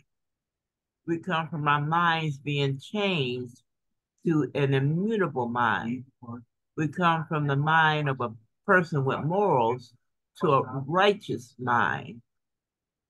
Uh, the law of the spirit, which is these three, are in the holy place, where in the law of the spirit is eternal, and the science of the mind is temporal, and the law of the spirit incorruptible, science of the mind corruptible. See, this is how Yahweh's changing us from a carnal mind to a spiritual mind. And then you have down here in the court roundabout, you got proof, you got the theories, you got precepts, the spiritual law of the spirit, you got concepts in the science of the mind, and truth, which is in the carnal mind, we have opinions. So it's the spiritual, showing forth the spiritual versus the carnal. And it's all going according to the pattern, the most holy place, holy place, and the court roundabout. That's all I wanted to point out. Praise Yahshua. Uh, may, may I also add concerning this particular chart, when the founder had the vision, he said that Yahweh spoke to that part of him that was made in his likeness and his image because there was nothing that he could do with that egotistical, misdirected personality. Right. Praise Yahshua. Thanks, everybody. Hallelujah. Beautiful. Hallelujah. Question. Yes, so is that the name of the chart? The egotistical, misdirected personality? Is that the name of that chart? I believe it is. Unless yes. yes, it is. Yes, ma'am. I think it is. Mm-hmm. Okay. Thank you. You're welcome.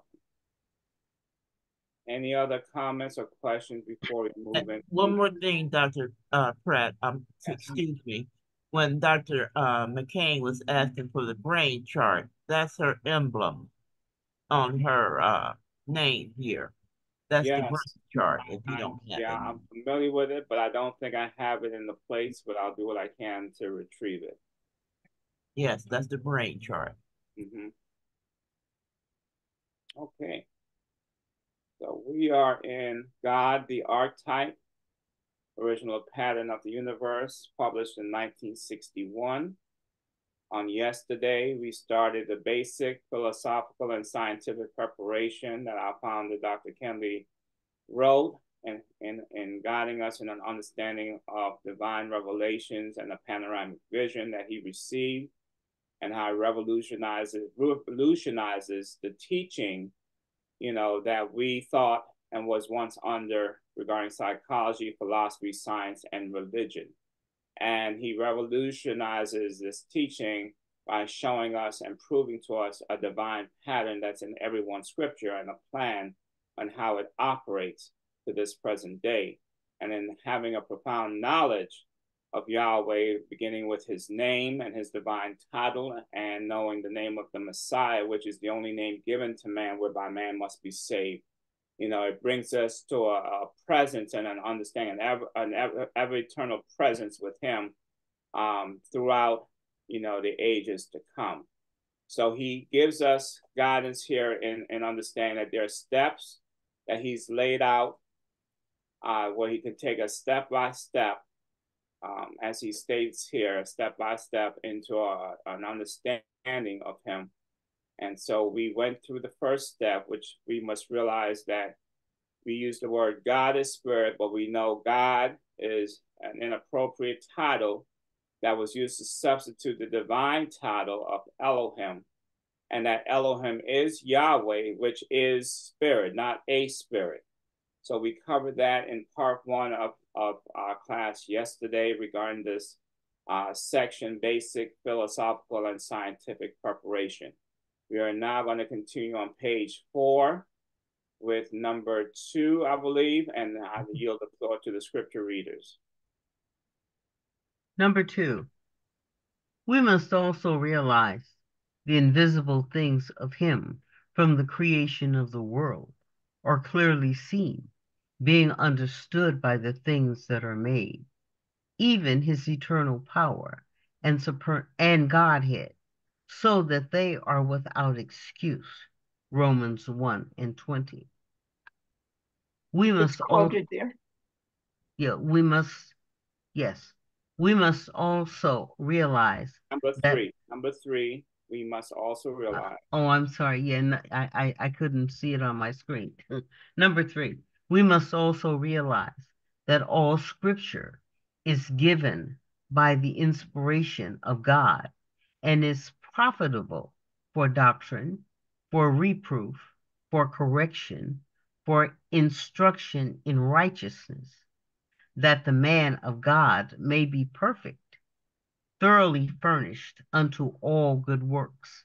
Second Timothy 3 16 and 17, which is already quoted. Right. And unless there are any questions or comments on these two steps, we're very familiar with Romans 1 19 and 20 for those who've been in class to know that it, it guides us in understanding the invisible things of Yahweh by looking at the creation that he has made by the pattern that's also stated in the moderation and shown on the Moses chart or the chart entitled Elohim, the archetype original pattern of the universe. And in step three, we must also realize that all scripture, which we read in Second Timothy, third chapter, is given by the inspiration of God, which we know is Elohim. And that scripture, it refers to what we know as the Old Testament, which involves the books of Moses and then the prophets and Psalms that we see in the Old Testament. That is profitable for doctrine, for reproof, for correction, for instruction in righteousness, that the man of Elohim may be perfect, thoroughly furnished unto all good works. Just as the tabernacle was thoroughly furnished and correlates to the furnishings in our physical body. So we see how he feeds us, how the blood nourishes us. We see how in our most holy place that the head cavity is nourished through this word that we are we are reassembled for because this is a feast as some people have referred to it as but this is a communion with our savior and and and he leads us in the truth and in understanding and that's in Second Timothy, the third chapter, as we read verses 16 through 17. So we can continue reading, beginning with "It cannot be reiterated." Oh, Doctor, we're, in the uh, volume one. What page? I'm sorry, I wasn't here yesterday. Okay, so this is in the oh, this is in God the Archetype original pattern of the universe published in 1961. So it's on page four. It doesn't indicate a volume on the bottom of the oh. page. Okay, right? so it's the oh, it's the first printing. Yes, it is, ma'am. Okay, I don't have that. Okay, so okay, state page four. And it's on I think page five, Dr. Burris, in the new the new book, the newest oh. edition. Okay, thank you. Yeah, it would be actually on page six in volume one. Um, I'm looking at the uh, Elohim, the archetype original pattern of the universe. So yeah, it, there there's more steps written out in the 1969 publication, but Yahshua led me to look at the first publication, which has three steps that Dr. Kinley listed out, which makes it plain and easily to run with. And that's understanding well, Romans 1 19 and 20, and understanding that all scripture is by inspiration. On the screen, um, it divided some type of way uh, on my screen anyway. And I, okay, now I pulled it together. Okay, thank you. Thank you. Praise Yahshua. Yes, it's written in columns. Yes. Dr. Altman, would you continue, please? Yes, ma'am. Thank you. It cannot be reiterated too strongly how vitally important it is for you, the reader, and me, the writer, to realize and know that all scripture is given by the inspiration of God. 2 Timothy 3:16. It is also important that we thoroughly understand the meaning of the inspiration of God, or all scripture was written by the power of God to manifest Himself, the creation, and His purpose through visions and revelations. Moses and the prophets told what they saw and heard God say in their visions by means of writing. These writings are called the scriptures, John 5:39. These visions reveal God in the realm of eternity and manifest his activities in the past, present, and future. They disclose the entire purpose of God from Alpha to Omega. Also, bear in mind and remember, excuse me, that we must know the difference between one age and the other the difference between one dispensation and the other. The following definitions of an age and dispensation were taken from a Webster's dictionary.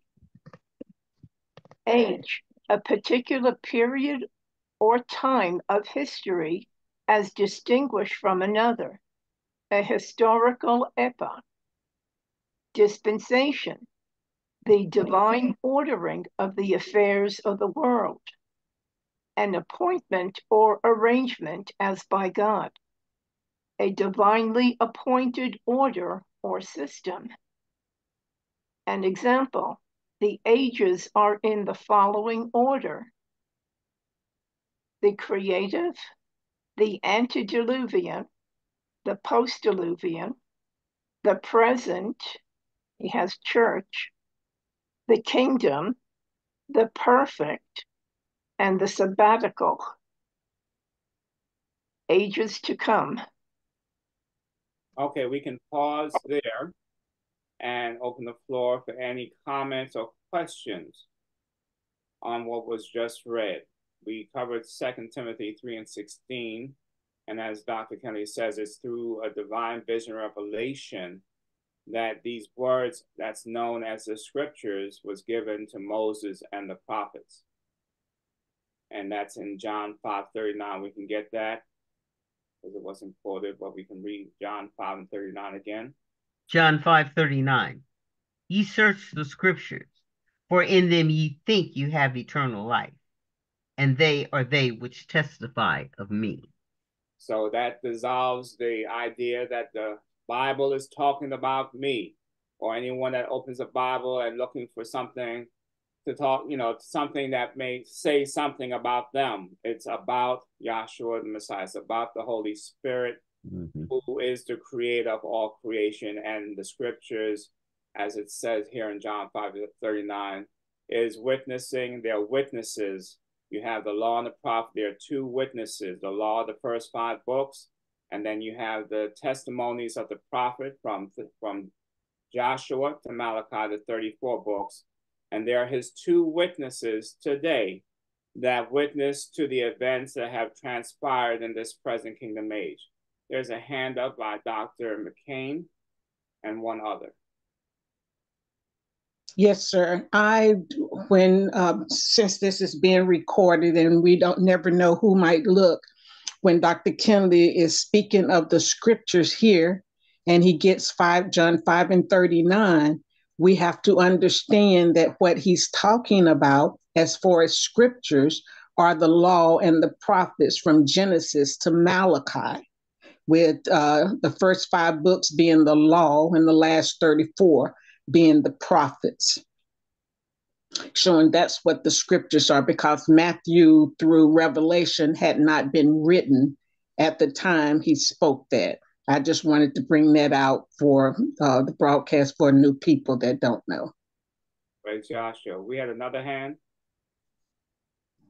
Yes. Dr. Latoya Braggs has put up a link for the um, for the textbook for God the Archetype Pattern. Yes, I wanted to ask, can you hear me? Yes, ma'am. Yes. Um, is there a difference in the wiki pattern of everything um and the copy or this version that you have on the screen? I don't know. I'm looking at this version and also the which is from a hard copy as well that some ministers have showed me. So this shows a simpler step from one to three whereas the publication in 1969 has steps that will take you, I believe there are about 14 steps as listed in that publication. So that's one of the differences between the first publication and the second, where it's further drawn out in the second publication. Which is the one from the website? Uh, well, you can get this also on the website, Elohim, oh. the Archetype Original Pattern of the Universe, which okay. is the second publication. All right, thank you. It's just hard for me to um stay focused when the when the two columns, so I have to um go to the to the reading and put it under re- read mode where it's more in paragraph form versus two columns. But thank you. I just want to know was there any difference? Okay, thank you for your comment. Okay. I have a comment. Mm-hmm. Dr. Sybil Lewis? Yes. Uh, I noticed you said this is the 1969, the old, the first textbook? No. I should be 1961. It's a 1961. Okay. I noticed um, there on the page that uh, the dispensations, I was looking at that, and I don't know if everybody knows this, that the first one is listed as the Edenic. Uh, we haven't gone there yet. We haven't read that. Okay, okay, all right. We've just read about the ages. Okay. On the ages. All right. Well, I'll say my comment. Okay. Thank you.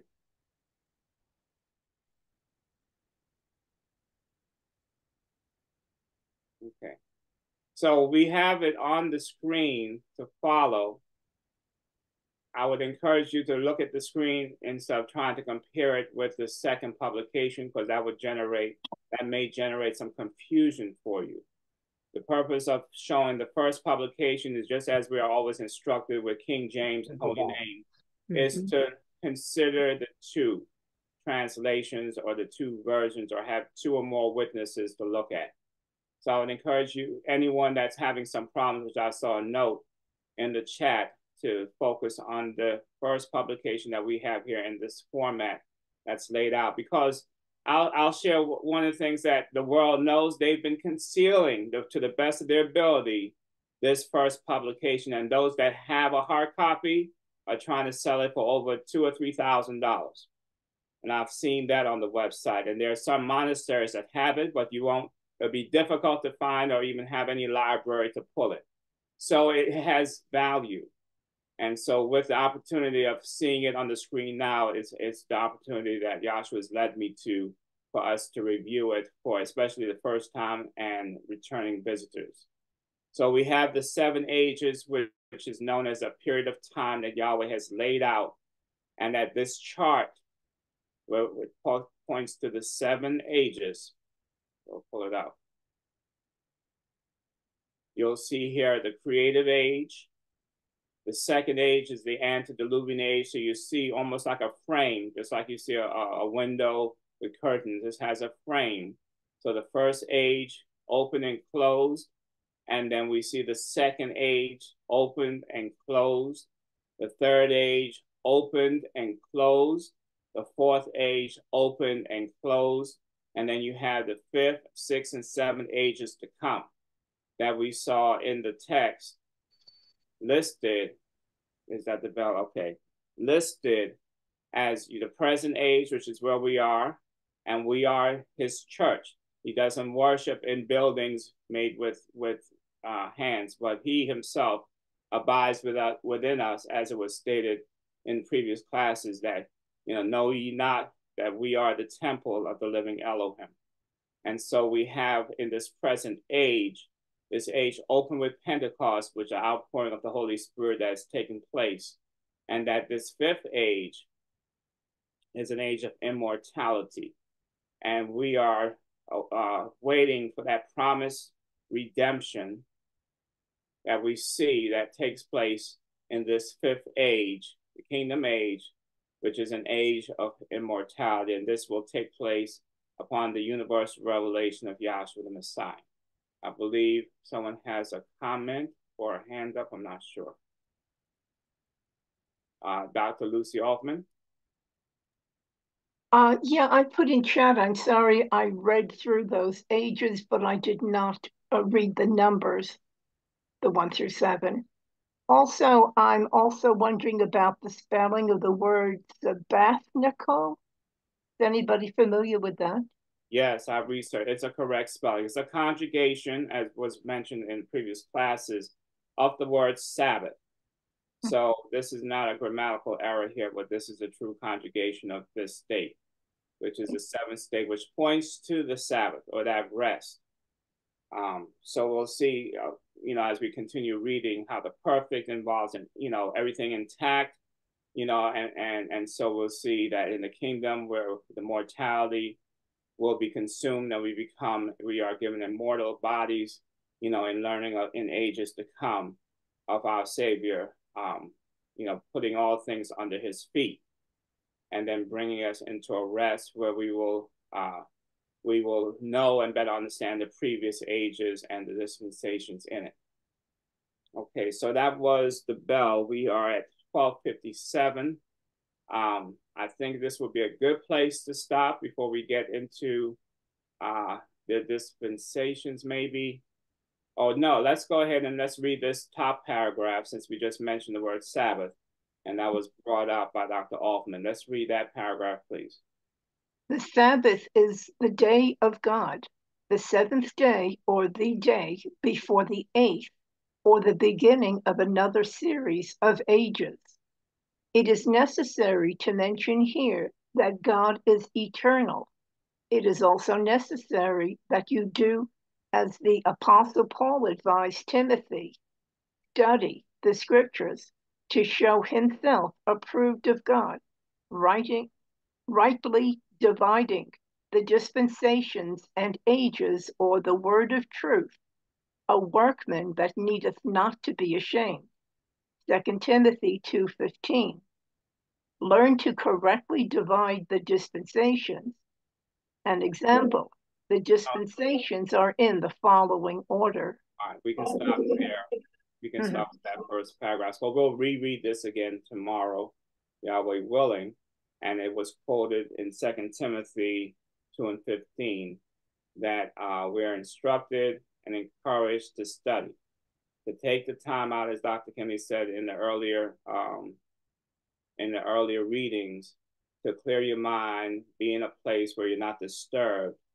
You know, turn off your phone and and, and open the book and read and, and and and and meditate because it is a wonderful thing to see Yahshua just just give give an aha moment, you know, to something maybe that's been looked at time and time again, and then seeing it just come off the page and, and taking on a higher state.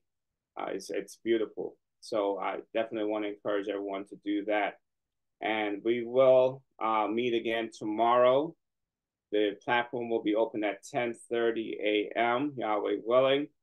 And with that, I pray I pray that someone was able to be increased today through the the the um, discussion and the discourse of the previous speakers and what we have read thus far. Please take the time to review the ages and to get a better understanding of the word anti and not anti, and to understand what the Luvian means and, and, and have a better understanding of some of the terms that have been shared. With that, all praise to Yahshua the Messiah. I yield the floor to the moderator. Thank you, Dr. Pratt, and thank you everyone for, for their participation today. This week, we will continue classes on the Archetype Pattern Workshop at Fairmont, West Virginia's platform to support the absence of the Honest Hearted Truth Seekers Zoom classes. May we ask all attending this class to please identify themselves on their devices with their name and location for proper attendance record. May we all stand in our hearts and minds before we do our doxology. We want to announce that we hold classes Tuesday through Friday, 11 a.m. until 1 p.m. Eastern Standard Time. May we all stand in our hearts and minds for our doxology taken from the last two verses of the book of Jude in the Holy Name Bible. Now unto him that is able to keep you from falling and to present you faultless before the presence of his glory with exceeding joy. To the only wise Elohim, our Savior, through Yahshua the Messiah, our sovereign, belong glory and majesty, dominion and power, both before all time and now and ever. Let us all say, Hallelujah. Hallelujah. Hallelujah.